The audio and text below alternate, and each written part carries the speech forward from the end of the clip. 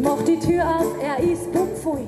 Sie schaffen Arbeitsplätze, bilden aus und kurbeln das Wirtschaftsgeschehen kräftig an. Die Unternehmerinnen von heute haben Ehrgeiz, Fleiß und Mut. Viele Gründe also, diese Persönlichkeiten einmal vor den Vorhang zu holen bei der Nacht der Vorbilder am Sommerfest von Frau in der Wirtschaft.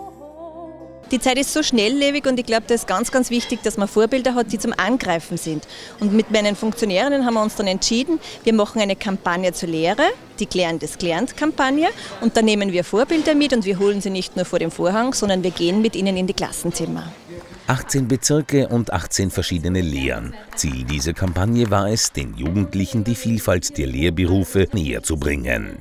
Ich habe zuerst ein bisschen Bammel gehabt, weil ich mir gedacht habe, naja, dann musst du reden in der Schule, musst dich ein bisschen vorbereiten. Aber es war so eine runde Geschichte und es war ein Erlebnis, wo ich mir gedacht habe, das hätte ich sonst wahrscheinlich nie so erlebt. Ich habe mich schon gefreut.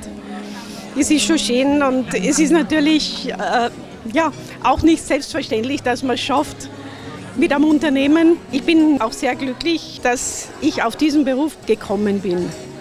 Unternehmerinnen sind Vorbilder, nicht nur für Jugendliche, auch für andere Unternehmer.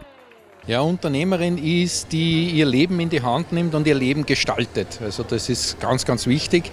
Deswegen sind uns Frauen und Unternehmerinnen in der VKB auch ganz wichtig, weil wir haben uns vorgenommen, dass wir einen Beitrag dazu leisten, dass Frauen finanziell selbstbestimmt sind und somit auch ihr Leben gestalten können. Ich muss ganz offen sagen, ich bin so begeistert von meiner Frau, das muss ich jetzt einmal inkognito sagen, dass sie für mich ein schweres Vorbild ist, weil sie wirklich Tag und Nacht arbeitet und trotzdem immer gut drauf ist, gute Stimmung verbreitet. Und mir gelingt es als Urinviertler natürlich und als Mann nicht so, aber ich arbeite daran.